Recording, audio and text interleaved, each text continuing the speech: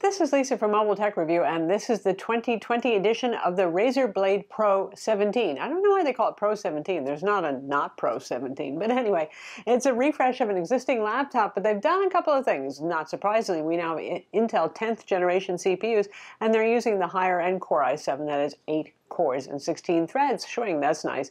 Also, we have NVIDIA RTX supercards, RTX 2080 Super Max Q, as a matter of fact. So the, the Super gets you 10 or 15 percent improvement in performance, and then that kind of offsets the max Qedness of it. Also, there's a redesigned hinge that allows for more airflow out of the back of the laptop. Very important thing. And as ever, beautiful anodized black aluminum unibody build, the nicest looking gaming laptop on the block with a price tag to match. We're going to look at it now. Ah, there's one more thing that I left out, and that's the fact that we have new display option, which is the 300 hertz refresh rate display. Yes, that's kind of overkill. When are you going to get those frame rates in a game, and do you need 300 frames per second? I don't know, but it's there, and it's pretty amazing, and that's a full HD display. That is matte IPS, and it's non-touch. And for those of you who are content creators or say, look, man, I got all this horsepower in my laptop. I want a game at higher resolution than Full HD, especially because you're talking a 17-inch screen. You can take advantage of that.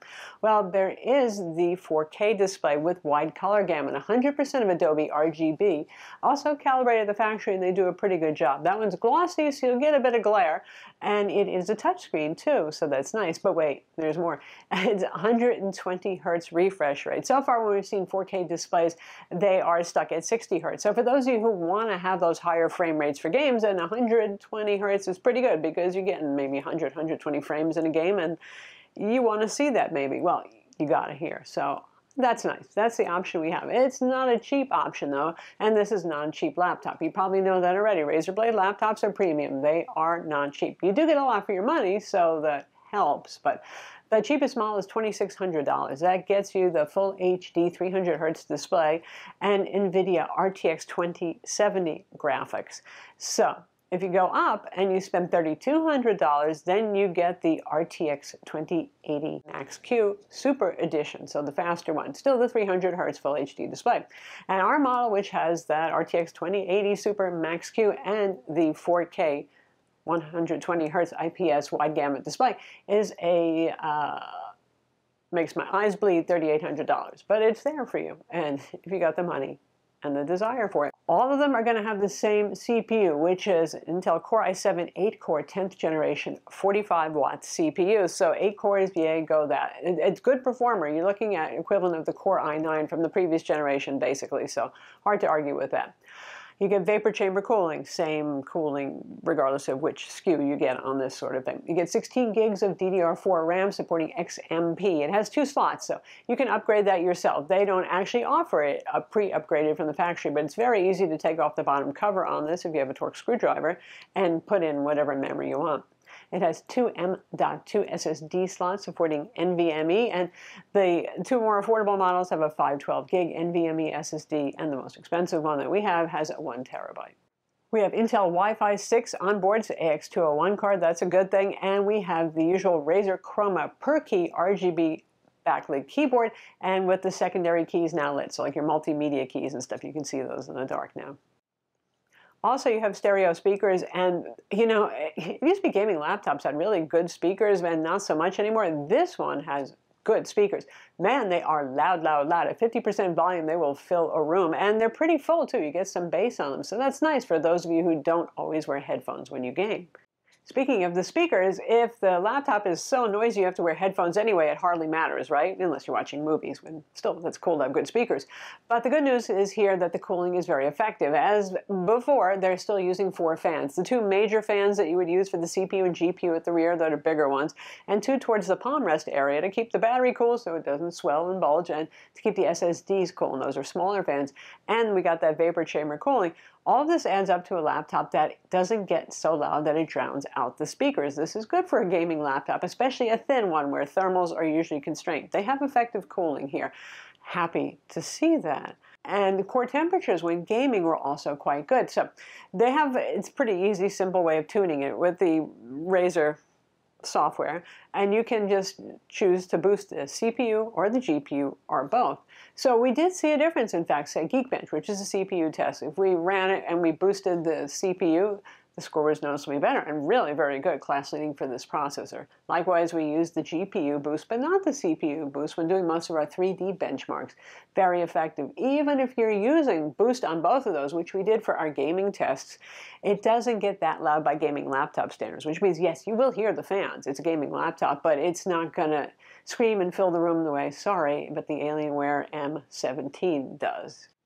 Core temperatures were actually fairly good on this too. Again, impressive because it's slim, so hopefully you're getting what you're paying for here with a good thermal design. So core temperatures on this, really, we didn't see hardly any throttling at all. And I even went and did things like testing Battlefield 5 at 4K resolution, which is a bit daring still for a mobile processor and mobile CPU, and it can handle it. Now, if you want 60 frames per second instead of 45 to 50, well, then you're going to drop it to 2K resolution. We ran those tests. Still did great thermals were okay. If you want to just use it for everyday productivity, you'll leave it on the balanced setting and you really won't hear the fans much, so they won't be intrusive. If you're using it for 3D rendering, again, you'll probably boost. It depends on the pack package you're using software, whether you need CPU or GPU-based rendering there, but you'll hear the fans then, but not egregious. In terms of the actual heat, it doesn't get burning hot to the touch. And we're in Texas, and it's getting on summer now, so typically things get toasty here. But but like I said, the surface temperatures, oh, they'll get warm. They're not going to burn you or anything like that. But it does, it, let me tell you, it radiates heat effectively out of the ventilation system here. It creates a zone of warmth around it is the only way I can describe it. I had this set up in kind of a nook area of the house. And that whole mm, two and a half to three foot zone there, you could feel the warmth from it. So if you live in a northern climate, you're probably like, I could live with that. But keep it in mind, especially in the summertime. So yes, it effectively radiates heat, but yes, it radiates heat. When it comes to the display, we have the 4K 120 Hz IPS wide gamut display. And they're not kidding. Our colorimeter measured it at complete Adobe RGB coverage. So this is for content creators and also just for those who really like a really good looking display. It's great if you're watching movies. It's obviously fantastic if you're creating content, especially cinematic content or content for print, which requires the wider gamut. It's joyous. The only thing, it does have glare. It is a glossy display because it's also a touchscreen. If you like touch, then that's a good thing. If you like the look of a glossy display and the the sense of looking in the black looking a little deeper, you'll be happy with that. The 300 hertz display is matte. I like this display just as well as the Gigabyte Aero 17 HDR, which has also the same wide gamut display. But that one is matte and non-touch. So no touch, mm, but matte means no glare. Anyway, it's a really nice looking display. I would love to have this laptop just to enjoy watching movies on this and games really. I saw some details in Far Cry New Dawn in the benchmark scene where you can see the kind of pinkish red characters written on the side of a characters like that I really didn't see before. So there are reasons to have a, a wide gamut display when playing games too. The keyboard is, well, it's the same as the last generation, which is to say great Razer Chroma RGB per key programmable backlighting. Um, the backlighting is a bit less PWM now, which I appreciate because the old keyboard looked to strobe a little bit to me.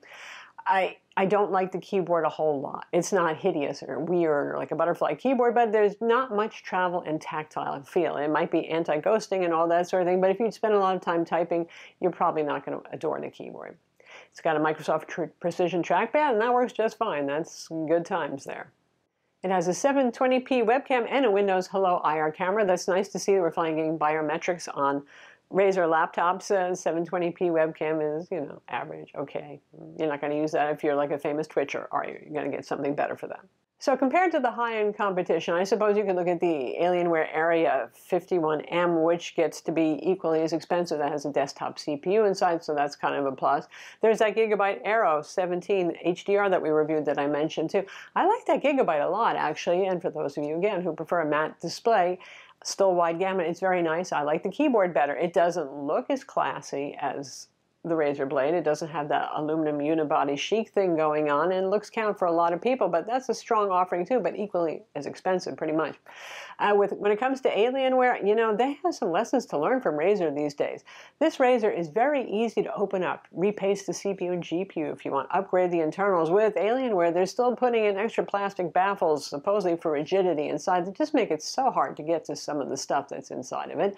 And now Alienware is soldering their RAM in, and the casing is kind of boy eraser, looks like plastic and has graphics on it and stuff. I mean, no offense to you folks who like the Alienware look, but this one just kind of says I'm worth that much money when it comes to just looking at it. So I think that's still one of the biggest selling point for Razers, honestly, is the looks and the build quality, and they've got it together with the quality control and all that.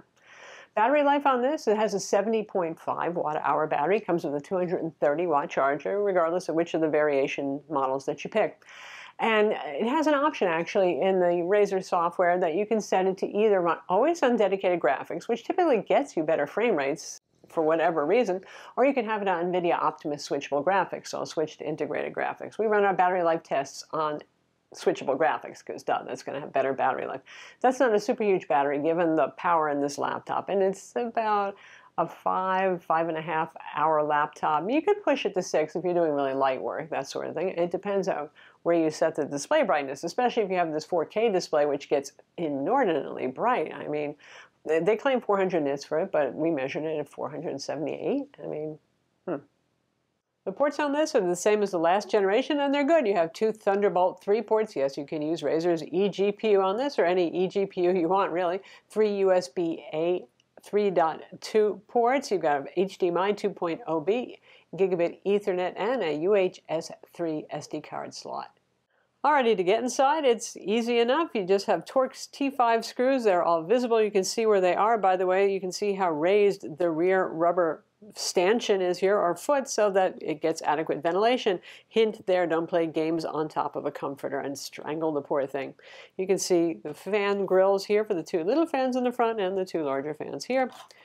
And inside, there we go, one very large vapor chamber heat sink cooling.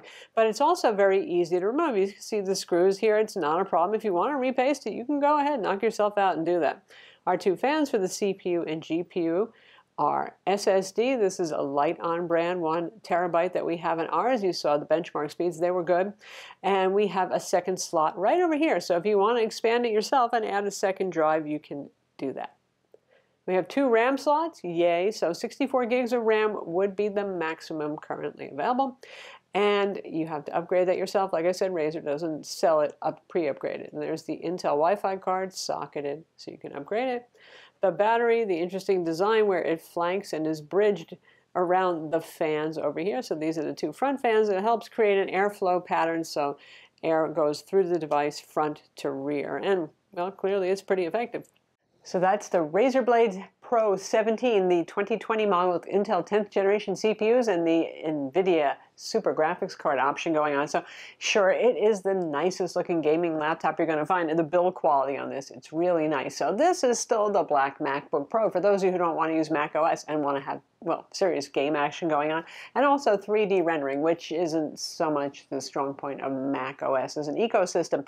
Uh, it, it is expensive, but you know what? There are competitors out there that cost just as much. Like the Gigabyte Aero, Aero 17 HDR that I mentioned, which is a great laptop, but it's just as expensive expensive. So you get what you pay for, we hope. And in this case, I would say you do. I'm Lisa from Mobile Tech Review. Be sure to subscribe to our YouTube channel for more cool tech videos and hit the notification bell so you know about them.